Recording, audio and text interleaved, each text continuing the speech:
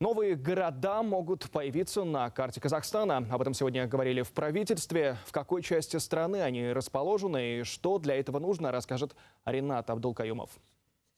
Список 18 сел, которые могут стать новыми городами, мы запросили у Министерства национальной экономики. Вот как он выглядит. Большая часть расположена на юге страны. Они находятся в Алматинской, Жамбылской, Кызлардинской, Мангестауской и Туркестанской областях. В каждом проживает больше 30 тысяч человек.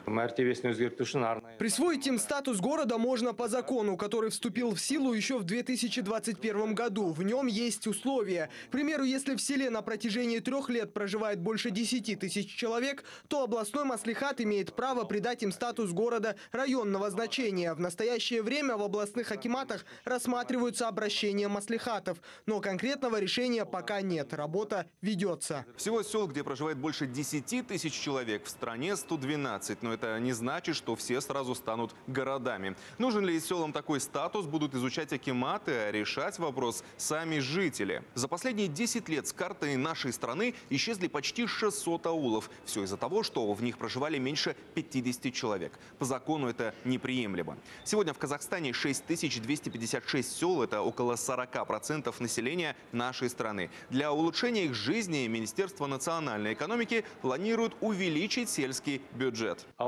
экономикасын Мы планируем передать некоторые виды дополнительных налогов и платежей. Это позволит увеличить доход четвертого уровня бюджета в два с половиной раза. Он составит 167 миллиардов тенге. Да, говорили на заседании и о проблемах. Премьер-министр заострил на них внимание и поручил решить. тұрғыны Школы и медицинские учреждения надо содержать и ремонтировать. Жители некоторых сел для получения медицинских и образовательных услуг вынуждены ездить в другие населенные пункты. Также имеются проблемы с качеством питьевой воды, дорог и стабильностью электроснабжения, мобильной связи и доступа к интернету. По этим вопросам поступают тысячи жалоб. В итоге идет отток сельского населения. Необходимо активизировать работу по развитию социальной, инженерной и транспортной инфраструктуры, в особенности на приграничных территориях. Акиматом глава правительства поручил улучшить работу по привлечению бизнеса в развитие сел, а также решать вопрос с дефицитом кадров, оказывать поддержку молодым специалистам, а еще все возникающие